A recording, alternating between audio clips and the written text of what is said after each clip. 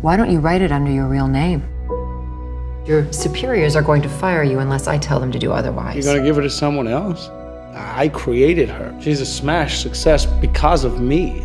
I wonder if you're the one with the secret identity.